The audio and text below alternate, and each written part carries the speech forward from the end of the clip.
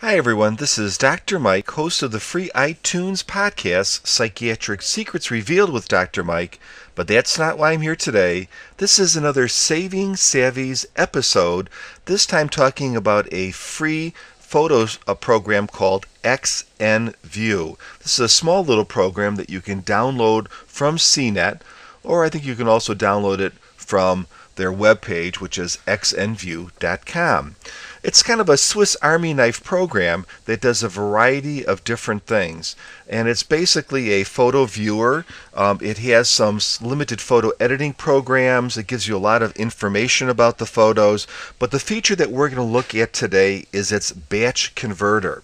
And the batch converter allows you to take a number of files and convert them in various ways. For instance, turning them or adjusting their brightness or maybe changing them all to black and white. But the function that we're going to look at today is the ability to take a variety of pictures and batch convert them to a different size. Now, why is that important? Well, it's important for a couple of reasons.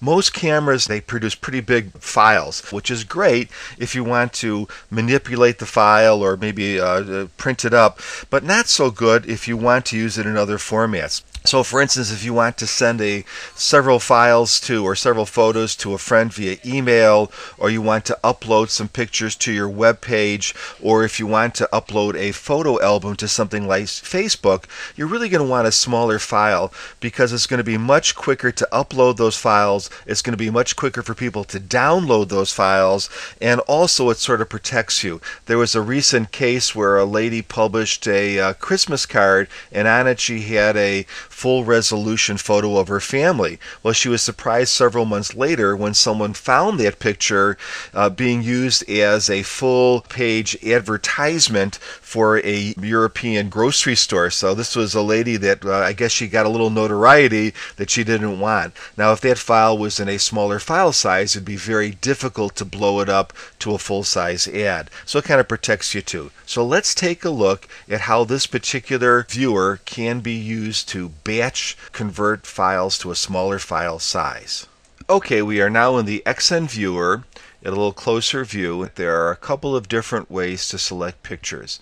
One way would be to just shift and click like you normally would uh, to in any Windows program or to control click, but we're actually going to use a tagging little radio box here. We're going to tag these files just for the heck of it. I'm just going to pick these here and let's say we wanted to convert these pictures for a, a Facebook album. So we're going to go up to the top of the screen and you're going to have a radio, a little uh, icon here say convert. We're going to press that and we're going to pick tag files because we tag these files. So we'll say tagged files. There's a bunch of files that we're going to do.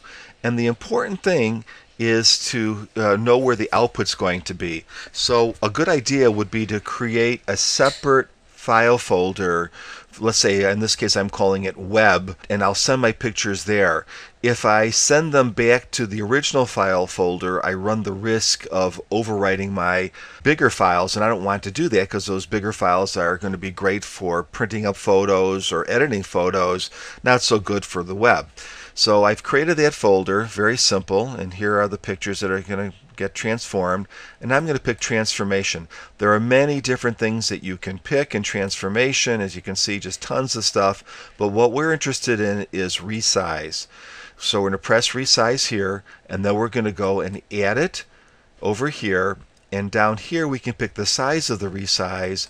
In this case, we're going to pick 800 pixels by 800 pixels.